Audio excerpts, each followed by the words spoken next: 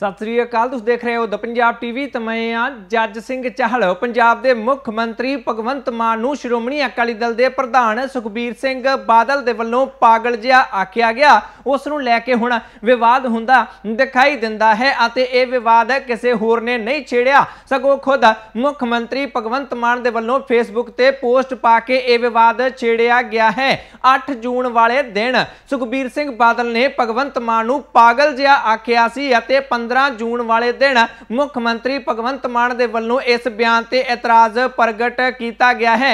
ਲਗਭਗ 1 ਹਫ਼ਤੇ ਬਾਅਦ ਇਸ ਬਿਆਨ ਤੇ ਇਤਰਾਜ਼ ਮੁੱਖ ਮੰਤਰੀ ਭਗਵੰਤ ਮਾਨ ਨੇ ਪ੍ਰਗਟ ਕੀਤਾ। ਸਭ ਤੋਂ ਪਹਿਲਾਂ ਤੁਹਾਨੂੰ ਸੁਖਬੀਰ ਸਿੰਘ ਬਾਦਲ ਦਾ ਉਹ ਬਿਆਨ ਸੁਣਾ ਦਿੰਨੇ ਆ ਜਿਸ ਨੂੰ ਲੈ ਕੇ ਹੁਣ ਭਗਵੰਤ ਮਾਨ ਨੇ ਇਹ ਵਿਵਾਦ ਛੇੜਿਆ ਏ ਜਦੋਂ ਦਾ ਪੰਜਾਬ ਬਣਿਆ ਚਾਰ ਮੁੱਖ ਮੰਤਰੀ ਬਣੇ, ਤਿੰਨ ਹੀ, ਸਮਝ ਲਓ। ਬਰਨਾਲਾ ਸਾਹਿਬ ਤਾਂ ਮੈਨੂੰ ਲੱਗਦਾ 2.5 ਸਾਲ ਹੀ ਰਹੇ ਹੈ, ਪਰ ਬਾਦਲ ਸਾਹਿਬ ਬਣੇ ਤਕਰੀਬਨ 20 ਸਾਲ। ਕੈਪਟਨ ਅਮਰਿੰਦਰ ਸਿੰਘ ਬਣਿਆ 10 ਸਾਲ, ਬੇਅੰਤ ਸਿੰਘ ਬਣਿਆ 5 ਸਾਲ ਤੇ ਆਪਣੇ ਆ ਜਿਹੜਾ ਅੱਜ ਵਾਲਾ ਪਾਗਲ ਜਾ ਉਹ ਮਤਲਬ ਦਾ ਸਾਲ ਹੀ ਹੋਇਆ।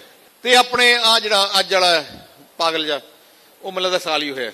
ਸੋ ਹੁਣ ਕੀ ਹੈ? ਉਹਨਾਂ ਕੋਲ ਗੂਗਲ ਕਰਕੇ ਗੂਗਲ ਤੁਸੀਂ ਕਰੋ ਕਿ ਕਿਹੜੇ ਮੁੱਖ ਮੰਤਰੀਆਂ ਨੇ ਕੀ ਬਣਾਇਆ ਪੰਜਾਬ ਵਿੱਚ? ਮੈਂ ਕਹਿੰਦਾ ਆਪਣੇ ਬੱਚਿਆਂ ਨੂੰ ਕੋਈ ਸ਼ਾਮ ਤੱਕ ਸਾਨੂੰ ਗੂਗਲ ਤੇ ਕੱਢ ਕੇ ਦਿਓ, ਉਹਨੂੰ ਧਿਆਨ ਦਿਓ। ਜੇ ਬੱਚਾ ਕੱਢ ਦੂਗਾ, ਉਹਨੂੰ ਦੇ ਦਿਓ 100 ਰੁਪਏ ਨਾਲ ਤੁਸੀਂ ਦੇਖੋਗੇ, ਨਾ ਬਿਆਨ ਸਿੰਘ ਦੀ ਨਿਸ਼ਾਨ ਕੋਈ ਚੀਜ਼ ਆਊਗੀ, ਨਾ ਕੈਪਟਨ ਦੀ ਆਊਗੀ, ਨਾ ਇਹਨਾਂ ਦੀ ਆਉਣੀ ਹੈ।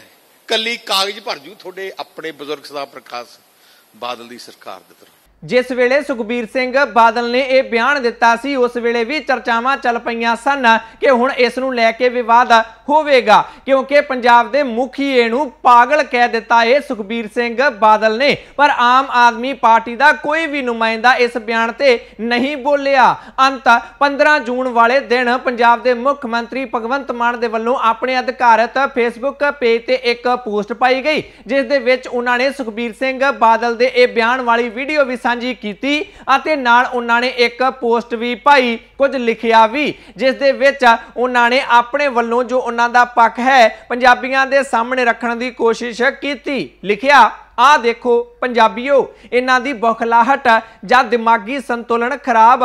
ਬਾਦਲ ਵੀ ਸਾਹਿਬ, ਬਰਨਾਲਾ ਵੀ ਸਾਹਿਬ, ਬੇਅੰਤ ਸਿੰਘ ਵੀ ਅਤੇ ਕੈਪਟਨ ਵੀ ਸਾਹਿਬ, ਮੈਨੂੰ ਪਾਗਲ ਜਿਹਾ। ਕੋਈ ਗੱਲ ਨਹੀਂ, ਸੁਖਬੀਰ ਸਿੰਘ ਜੀ, ਮੇਰੇ ਨਾਲ ਕੁਦਰਤ ਹੈ। ਮੇਰੇ ਨਾਲ ਲੋਕ ਨੇ। ਘੱਟੋ ਘੱਟ ਇਹ ਪਾਗਲ ਜਿਹਾ ਪੰਜਾਬ ਨੂੰ ਲੁੱਟਦਾ ਨਹੀਂ। ਤੁਹਾਡੇ ਵਾਂਗ ਮੋੜਵਾ ਜਵਾਬ, ਮੁੱਖ ਮੰਤਰੀ ਭਗਵੰਤ ਮਾਨ ਦੇ ਵੱਲੋਂ ਸੁਖਬੀਰ ਸਿੰਘ ਬਾਦਲ ਨੂੰ ਦੇ ਦਿੱਤਾ ਗਿਆ ਕਿ ਵੇਖ ਲਓ ਪੰਜਾਬੀਓ, ਇਹ ਮੈਨੂੰ ਪਾਗਲ ਜਿਹਾ ਆਖ ਰਹੇ ਹਨ, ਪਰ ਮੈਂ ਇਹਨਾਂ ਵਾਂਗ ਪੰਜਾਬ ਨੂੰ ਲੁੱਟਦਾ ਨਹੀਂ। ਇੱਕ ਵਾਰ ਫਿਰ ਤੋਂ ਭਗਵੰਤ ਮਾਨ ਨੇ ਇਹ ਗੱਲ ਆਖ ਦਿੱਤੀ ਹੈ ਕਿ ਸੁਖਬੀਰ ਸਿੰਘ ਬਾਦਲ ਨੇ ਪੰਜਾਬ ਨੂੰ ਲੁੱਟਿਆ ਹੈ ਅਤੇ ਮੈਂ ਇਹਨਾਂ ਵਾਂਗ ਪੰਜਾਬ ਨੂੰ ਲੁੱਟਦਾ ਨਹੀਂ ਹਾਂ।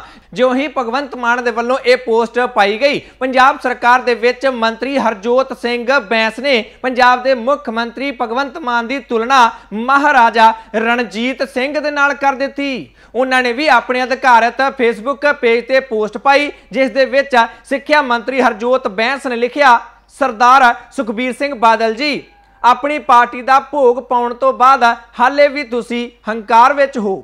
ਮਹਾਰਾਜਾ ਰਣਜੀਤ ਸਿੰਘ ਜੀ ਤੋਂ ਬਾਅਦ ਜੇਕਰ ਪੰਜਾਬੀਆਂ ਦਾ ਸਭ ਤੋਂ ਵੱਧ ਪਸੰਦ ਕੀਤਾ ਜਾਣ ਵਾਲਾ ਨੇਤਾ ਹੈ, ਤਾਂ ਉਹ ਹੈ ਮਾਨਯੋਗ ਮੁੱਖ ਮੰਤਰੀ ਸਰਦਾਰ ਭਗਵੰਤ ਮਾਨ ਜੀ।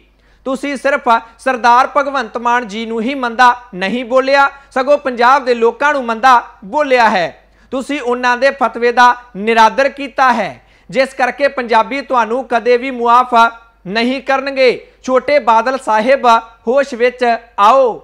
ਪੰਜਾਬ ਦੇ ਲੋਕ ਬਹੁਤ ਹੀ ਸਮਝਦਾਰ ਹਨ। ਉਹਨਾਂ ਨੇ ਤੁਹਾਡੀ ਸਿਆਸਤ ਨੂੰ ਬੁਰੀ ਤਰ੍ਹਾਂ ਨਕਾਰ ਦਿੱਤਾ ਹੈ। ਬੇਤੁਕੀਆਂ ਗੱਲਾਂ ਕਰਨ ਦੀ ਬਜਾਏ ਹੁਣ ਤੁਸੀਂ ਘਰੇ ਬੈਠ ਕੇ ਆਰਾਮ ਕਰੋ। ਰਣਜੀਤ ਸਿੰਘ ਤੋਂ ਬਾਅਦ, ਮਹਾਰਾਜਾ ਰਣਜੀਤ ਸਿੰਘ ਤੋਂ ਬਾਅਦ ਜੇਕਰ ਪੰਜਾਬੀ ਕਿਸੇ ਲੀਡਰ ਨੂੰ ਪਿਆਰ ਕਰਦੇ ਨੇ ਸਭ ਤੋਂ ਜ਼ਿਆਦਾ, ਤਾਂ ਉਹ ਮਾਣਯੋਗ ਮੁੱਖ ਮੰਤਰੀ ਭਗਵੰਤ ਮਾਨ ਜੀ ਹਨ। ਇਹ ਸ਼ਬਦ ਹਰਜੋਤ ਬੈਂਸ ਦੇ ਵੱਲੋਂ ਵਰਤ ਦਿੱਤੇ ਗਏ ਨੇ। ਜਿਉਂ ਹੀ ਸਿੱਖਿਆ ਮੰਤਰੀ ਹਰਜੋਤ ਬੈਂਸ ਦੇ ਵੱਲੋਂ ਇਹ ਟਵੀਟ ਕੀਤਾ ਗਿਆ, ਉਸੇ ਵੇਲੇ ਹੀ ਇਸ ਟਵੀਟ ਨੂੰ ਲੈ ਕੇ ਵਿਵਾਦ ਵੀ ਪੈਦਾ ਹੁੰਦਾ ਦਿਖਾਈ ਦਿੰਦਾ ਏ। ਅਕਾਲੀ ਆਗੂ ਵਿਰਸਾ ਸਿੰਘ ਵਲਟੋਹਾ ਨੇ ਇਸ ਮੁੱਦੇ ਤੇ ਜਵਾਬ ਹਰਜੋਤ ਬੈਂਸ ਨੂੰ ਦਿੱਤਾ ਹੈ। ਉਹਨਾਂ ਨੇ ਆਪਣੇ ਅਧਿਕਾਰਤ ਫੇਸਬੁੱਕ ਪੇਜ ਤੇ ਇੱਕ ਪੋਸਟ ਪਾਈ ਹੈ, ਜਿਸ ਦੇ ਵਿੱਚ ਵਲਟੋਹਾ ਨੇ ਲਿਖਿਆ, ਮੰਤਰੀ ਹਰਜੋਤ ਬੈਂਸ ਵੱਲੋਂ ਭਗਵੰਤ ਮਾਨ ਦੀ ਖੁਸ਼ਾਮਦੀ ਕਰਦਿਆਂ ਕੀਤੇ ਟਵੀਟ ਦੀ ਮੈਂ ਪੁਰਜ਼ੋਰ ਨਿੰਦਾ ਕਰਦਾ ਹਾਂ। ਬੈਂਸ ਸਾਹਿਬ, ਜਿਸ ਬੰਦੇ ਨੂੰ ਉਸ ਦੀਆਂ ਆਦਤਾਂ ਕਰਕੇ ਉਸ ਦਾ ਪਰਿਵਾਰ ਛੱਡ ਕੇ ਚਲਾ ਜਾਵੇ, ਤੁਸੀਂ ਉਸ ਦੀ ਤੁਲਨਾ ਮਹਾਰਾਜਾ ਰਣਜੀਤ ਸਿੰਘ ਨਾਲ ਕਰਨੀ ਵੱਡਾ ਗੁਨਾਹ ਅਤੇ ਸਮੂਹ ਪੰਜਾਬੀਆਂ ਅਤੇ ਖਾਸ ਕਰਕੇ ਸਿੱਖਾਂ ਦੀਆਂ ਭਾਵਨਾਵਾਂ ਨੂੰ ਠੇਸ ਪਹੁੰਚਾਉਣ ਵਾਲਾ ਕਦਮ ਹੈ। ਮਹਾਰਾਜਾ ਰਣਜੀਤ ਸਿੰਘ ਦੇ ਰਾਜ 'ਚ ਤਾਂ ਗਲ ਵਿੱਚ ਸੋਨੇ ਦਾ ਕੈਂਠਾ ਪਾ ਕੇ ਛੱਡਿਆ, ਕੁੱਤਾ ਵੀ ਸਾਰਾ ਬਾਜ਼ਾਰ ਘੁੰਮ ਕੇ ਕੈਂਠੇ ਸਮੇਤ ਵਾਪਸ ਘਰ ਆ ਜਾਂਦਾ ਸੀ। ਪਰ ਭਗਵੰਤ ਮਾਨ ਦੇ ਰਾਜ ਵਿੱਚ ਅੱਜ ਕੌਣ ਸੁਰੱਖਿਅਤ ਹੈ? ਪੰਜਾਬੀਆਂ ਦੀ ਤਾਂ ਛੱਡੋ, ਆਮ ਆਦਮੀ ਪਾਰਟੀ ਦੀ ਸਰਕਾਰ ਬਣਾਉਣ ਵਾਲੇ ਐਨਆਰਆਈਜ਼ ਦੀਆਂ ਕੋਠੀਆਂ। ਤੁਹਾਡੇ ਵਿਧਾਇਕਾਂ ਵੱਲੋਂ ਸ਼ਰੇਆਮ ਮੱਲੀਆਂ ਜਾ ਰਹੀਆਂ ਹਨ। ਸਤਿਕਾਰਯੋਗ ਭਗਵੰਤ ਮਾਨ ਹੋਰਾਂ ਦੀ ਪਹਿਲੀ ਪਤਨੀ ਵੀ ਸ਼ੁਰੂ ਵਿੱਚ ਕਹਿੰਦੀ ਸੀ ਕਿ ਮੇਰੇ ਪਤੀ ਵਰਗਾ ਦੁਨੀਆ ਵਿੱਚ ਹੀ ਹੋਰ ਕੋਈ ਨਹੀਂ ਹੈ। ਪਰ ਅੱਜ ਵਿਚਾਰੀ ਧਾਹਾਂ ਮਾਰਦੀ ਹੈ ਅਤੇ ਉਸ ਘੜੀ ਨੂੰ ਕੋਸਦੀ ਹੈ। ਜਦੋਂ ਭਗਵੰਤ ਮਾਨ ਉਸ ਦੀ ਜ਼ਿੰਦਗੀ 'ਚ ਆਇਆ ਸੀ, ਬੇਨਤੀ ਆ ਟਵੀਟ ਸੋਚ ਸਮਝ ਕੇ ਕਰਿਆ ਕਰੋ। ਇਸ ਤਰੀਕੇ ਨਾਲ ਵਿਰਸਾ ਸਿੰਘ ਵਲਟੋਹਾ ਦੇ ਵੱਲੋਂ ਵੀ ਇਸ ਮੁੱਦੇ ਨੂੰ, ਇਸ ਟਵੀਟ ਨੂੰ ਇੱਕ ਵਿਵਾਦ ਬਣਾ ਦਿੱਤਾ ਗਿਆ ਹੈ ਕਿ ਮਹਾਰਾਜਾ ਰਣਜੀਤ ਸਿੰਘ ਦੇ ਨਾਲ ਤੁਲਨਾ, ਹਰਜੋਤ ਬੈਂਸ ਦੇ ਵੱਲੋਂ ਮੁੱਖ ਮੰਤਰੀ ਭਗਵੰਤ ਮਾਨ ਦੀ ਆਖਰ ਕਿਵੇਂ ਕਰ ਦਿੱਤੀ ਗਈ ਹੈ? ਪਰ ਇਸ ਸਭ ਦੇ ਵਿੱਚ ਜਦੋਂ ਹੁਣ ਸਰਕਾਰ ਦੇ ਵੱਲੋਂ ਸੁਖਬੀਰ ਸਿੰਘ ਬਾਦਲ ਨੂੰ ਇਸ ਮੁੱਦੇ ਤੇ ਘੇਰਿਆ ਜਾ ਰਿਹਾ ਹੈ, ਤਾਂ ਜਵਾਬ ਅਕਾਲੀ ਦਲ ਦੇ ਵੱਲੋਂ ਵੀ ਆ ਗਿਆ ਹੈ। ਅਕਾਲੀ ਆਗੂ ਵਿਰਸਾ ਸਿੰਘ ਵਲਟੋਹਾ ਇੱਕ ਨਿੱਜੀ ਚੈਨਲ ਦੇ ਨਾਲ ਗੱਲਬਾਤ ਕਰ ਰਹੇ ਸਨ। ਉਸ ਦੇ ਵਿੱਚ ਉਹਨਾਂ ਨੇ ਆਖਿਆ ਕਿ ਅਜਿਹੇ ਸ਼ਬਦਾਂ ਦੀ ਵਰਤੋਂ ਕਰਨ ਦੀ ਸ਼ੁਰੂਆਤ ਹੀ ਭਗਵੰਤ ਮਾਨ ਦੇ ਵੱਲੋਂ ਕੀਤੀ ਗਈ ਹੈ। ਉਹ ਸਾਡੇ ਪ੍ਰਧਾਨ ਨੂੰ ਮੰਦਬੁੱਧੀ ਕਹਿੰਦਾ ਹੈ।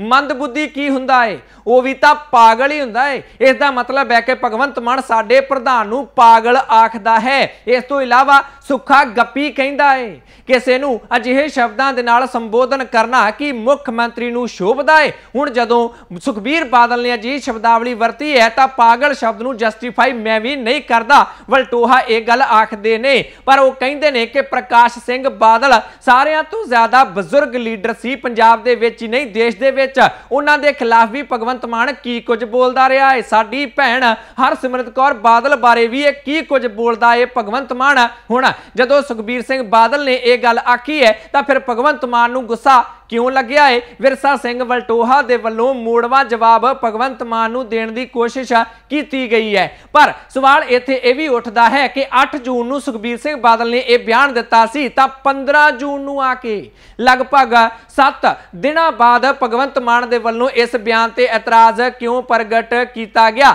ਅਤੇ ਸਵਾਲ ਅਸੀਂ ਤੁਹਾਡੇ ਤੋਂ ਵੀ ਪੁੱਛ ਲੈਣਾ ਚਾਹੁੰਦੇ ਹਾਂ ਕਿ ਜੋ ਇਹ ਭਾਸ਼ਾ ਸੁਖਬੀਰ ਸਿੰਘ ਬਾਦਲ ਦੇ ਵੱਲੋਂ ਪੰਜਾਬ ਦੇ ਮੁੱਖ ਮੰਤਰੀ ਭਗਵੰਤ ਮਾਨ ਲਈ ਵਰਤੀ ਗਈ ਹੈ ਉਹਨਾਂ ਨੂੰ ਪਾਗਲ ਜਿਹਾ ਆਖ ਦਿੱਤਾ ਗਿਆ ਹੈ ਇਸ ਬਾਰੇ ਤੁਸੀਂ ਕੀ ਕਹਿਣਾ ਚਾਹੁੰਦੇ ਹੋ ਜੋ ਵੀ ਤੁਸੀਂ ਕਹਿਣਾ ਚਾਹੁੰਦੇ ਹੋ ਕਮੈਂਟ ਕਰਕੇ ਤੁਸੀਂ ਵੀ ਆਪਣੀ رائے ਜ਼ਰੂਰ ਦਿਓ ਜੇਕਰ ਇਸੇ ਤਰ੍ਹਾਂ ਹੀ ਹਰ ਖਬਰ ਨੂੰ ਨਿਰਪੱਖਤਾ ਨਾਲ ਵੇਖਦੇ ਰਹਿਣਾ ਚਾਹੁੰਦੇ ਹੋ ਤਾਂ YouTube ਤੇ ਦਾ ਪੰਜਾਬ ਟੀਵੀ ਦੇ ਚੈਨਲ ਨੂੰ ਸਬਸਕ੍ਰਾਈਬ ਕਰ ਲਓ Facebook ਤੇ ਪੇਜ ਲਾਈਕ ਕਰ ਲਓ ਮੈਂ ਜੱਜ ਸਿੰਘ ਚਾਹਲ ਅਗਲੀ ਵਾਰ ਫਿਰ ਹਾਜ਼ਰ ਹੋਵਾਂਗਾ ਤੁਸੀਂ ਦੇਖਦੇ ਰਹੋ ਦਾ ਪੰਜਾਬ ਟੀਵੀ ਹਰ ਖਬਰ ਦਾ ਸੱਚ